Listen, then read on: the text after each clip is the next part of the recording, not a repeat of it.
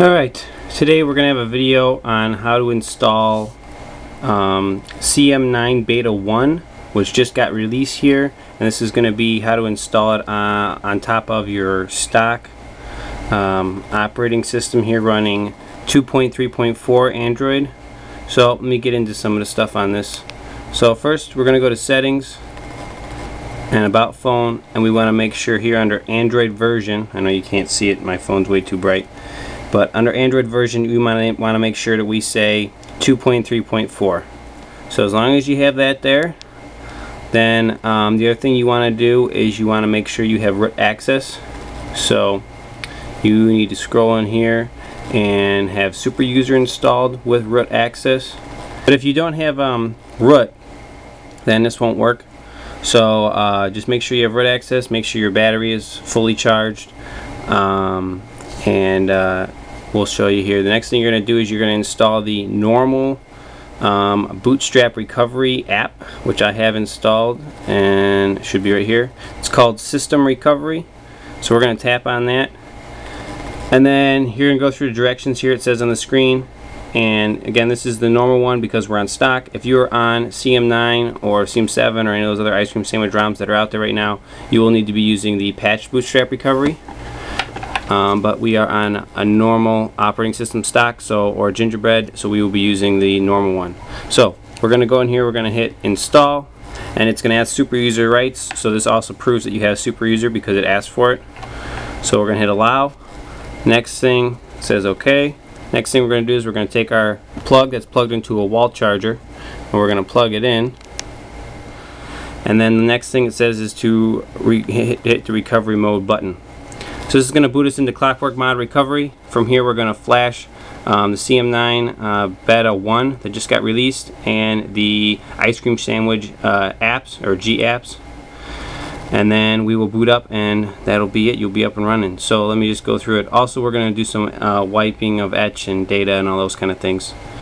Um, also recommended that we come in here and when you open this up you go ahead and make an Android backup of your operating system in case you don't like CM9 so what you do if you're going to make a backup is you'd scroll down with your volume buttons here and you go to backup and restore and you select it then you'd select external because that's where I like to keep all my backups on my external SD card then you'd select that and then you'd hit backup that's going to take 15 minutes and then it'll be back to this screen and then you can hit back and then we'll be back to your main screen.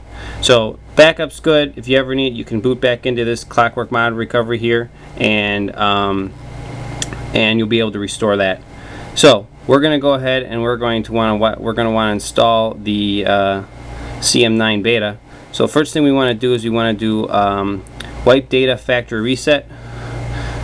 So we're going to select that one and we're going to scroll down where it says yes, delete all user data and we're going to let this thing format data and then it's going to format uh, cache which is done and we're going to scroll down here to wipe cache partition and we're going to select it we're going to scroll down to say yes wipe cache select it last thing we're going to do is go to advanced on the bottom down here select that and then wipe Dalvik cache select that and then hit yes wipe Alright, so those three things are wiped. That means your phone is ready now to install. Um, you're going to go back here, go back to the main screen.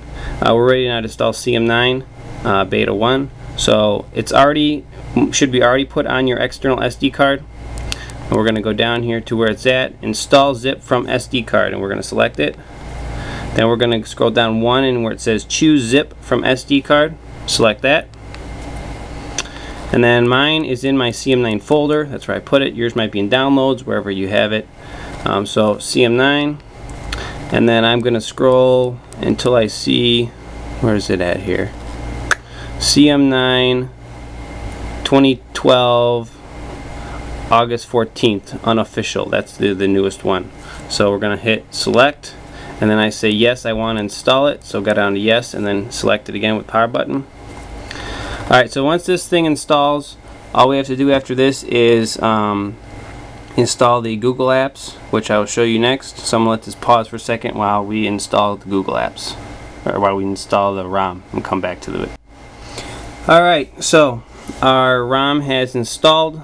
So the next step we're going to do is we're going to go down one and we're going to say choose zip from SD card. And we're going to select that. And then we're going to scroll down to my CM9 folder again. Select that. And then we're going to go down to Google Apps or G Apps Ice Cream Sandwich, which are from April 29th. And we're going to select those. And then we're going to select yes, install them. Alright. So if you guys um, haven't it or don't have any of these files to do this, I will try to put links in my description on all of it. Alright, so that's done. So um, I'll have a link to how to root your phone. Um, I'll have a link to the Google Apps, to the ROM, uh, to Bootstrap, normal and patch, whichever one you're using. So we'll try to put all that in there for you. So then uh, we're going to hit go back because the G-gap's finished. And then the last step here is reboot system now. So we're going to reboot. I'm going to go ahead and unplug this for now. And we should reboot up here. So let's give it a sec to boot up and see what we got guys. I'm going to pause it again here so uh, we'll come back to it once it boots up. Probably first boot may take up to 5 to 10 minutes so be patient for it. Alright guys, we just went through the um, uh, freaking setup. So your, you know, Wi-Fi and your Google account and everything. This is what we come up to then. And here we go. So that's your basic, uh, basic look. And if you guys haven't seen CM9 before, this is uh, your your interface here. Um, once you're in CM9, I would recommend to uh, see if I have a file browser here or not. Doesn't look like I do. Get a file, file browser. Go ahead and I have my patched CM9 or patched Bootstrap recovery uh, in, uh, on my on my SD card, and I would go ahead and install that and then use that from now on because uh, you can't use the other one. It'll make you basically go into a brick if you use it uh, on CM9. So make sure if you're going to use Bootstrap, you're going to use the new patched Bootstrap. So this is pretty much your look of it. Um, I think the only features that's different between this and Alpha 5 are some bug fixes and um, yeah, pretty much some bug fixes is all I understood from what I understood. Just some little bugs and tweaks on it to make it run a little bit better. Uh, I think Netflix still doesn't work, so you're not going to have that unless you have a different kernel. Um, so things like that. But very smooth, very fast, uh, very nice uh, operating system here, nice ROM. So that's pretty much the install on it, guys. Um, you know, if you have any questions, uh, check, you know, hit me up on the comment section. I'm sure I'll respond to them. And uh, make sure you guys check the description for links to everything and XDA thread and everything like that. So subscribe if you can. Thanks, guys.